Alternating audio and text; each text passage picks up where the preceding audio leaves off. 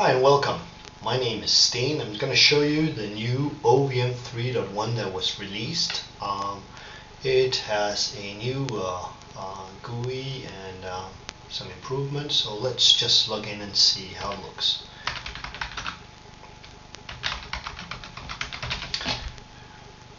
I've chosen to divide this up into several steps. So at first I'm just going to install or discover my server and then I'm just going to move on and, and go through all the different steps that's required to set up the new OVM 3.1.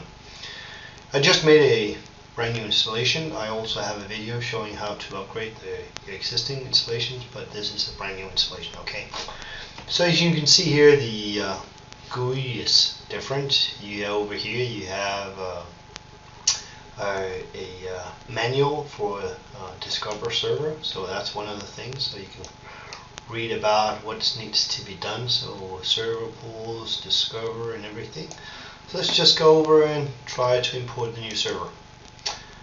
So just press here and the password. It gives me here you might recall that last you were specifying a range and then it would pop in all the IP addresses. Here you just write the range if you want to have a range. I only have one server so I'm just gonna add one server to this environment. Okay. Also down here you can see is a job in progress and it's it's in progress and it's completed.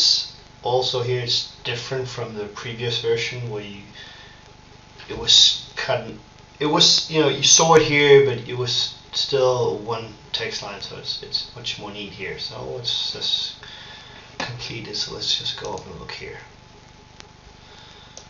So I have my first running server in my environment and I can press here we just take this one here. Okay that looks very nice. I can drop down, see some advanced, I can see it's a Dell, I can see CPU, just gonna look at the server abilities, very nice, so I can see all the different things. Okay, this was the first little uh, video for uh, discovering the server.